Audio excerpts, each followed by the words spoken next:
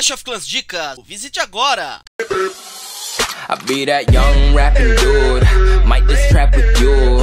Coming with the thunder, baby, might just clap it crew. I roll out in the morning. E aí, Clashers, beleza? Bruno Clash na área, mais um vídeo pra vocês, rapaziada, é o seguinte. Hoje um deck de outro mundo, um deck full esqueletos. É o seguinte, você tá vendo aqui do lado, eu tô começando ali, ó, montar minha estratégia.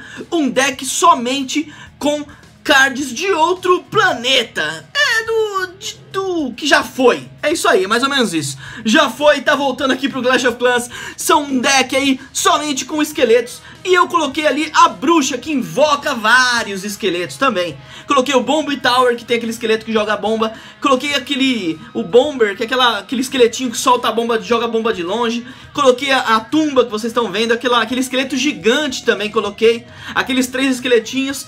E também é, vocês vão ver aí que eu vou utilizar bastante essa questão da, de, de soltar aquele, aquele, aquela porrada de esqueletos que vão juntos, né? Que acho que são 20 esqueletos, se não me engano.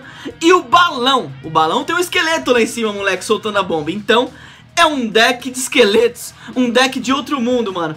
É muito difícil, eu vou falando já, é muito difícil você acertar um belo de um ataque aí. Um belo de uma, uma batalha, bela de uma batalha pra você poder encaixar esse jogo com esqueletos. Então, é sofrido, rapaziada. É doideira, mas quando você consegue é muito engraçado, muito da hora, cara.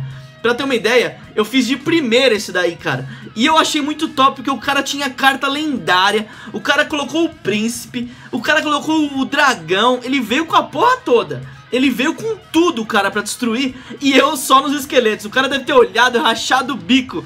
Eu só olhei pra ele e falei Não me venha com papagaiadas, brothers Você vai tomar porrada.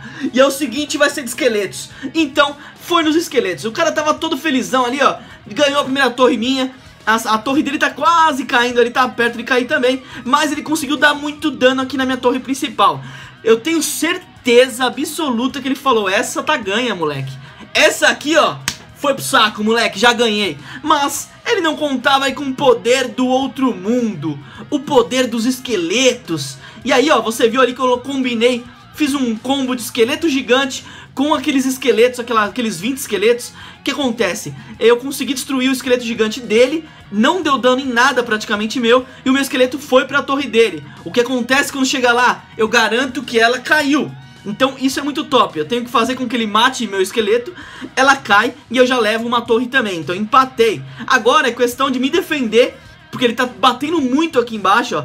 Tenho certeza que ele tava cantando vitória faz tempo, e aí eu tenho que contra-atacar em algum momento pra poder derrubar mais uma torre. Mas tá muito difícil, ele tá com as cartas lendárias, corredores, é, Baby Dragon, Cara, o príncipe, olha que loucura, ele tá com tudo, mano.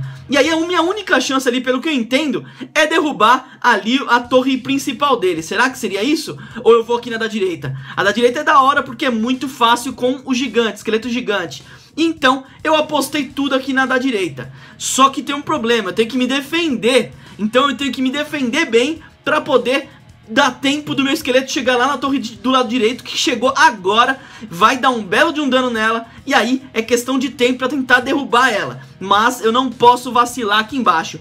Um erro dele, ele focou na minha torre da direita, ao invés de focar na minha torre principal. E com isso, eu consegui ganhar tempo e me defender melhor pra no contra-ataque meter aquele esqueleto lá em cima onde você tá vendo que ele chegou. E ali, moleque, ali foi segredada a minha, minha vitória.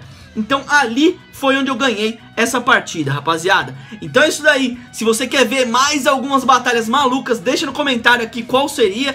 Deixa o seu like, se inscreva no canal se você não é inscrito. É nóis. Fui!